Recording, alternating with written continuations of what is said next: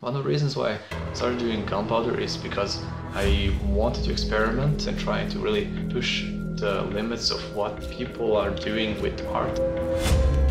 When it comes to gunpowder, there's always risks because you are literally playing with fire.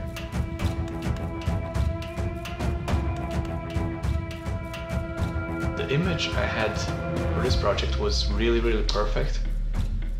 The whole project that I was working on here, it took four to five days to finish. I think it really turned out into a fantastic large painting.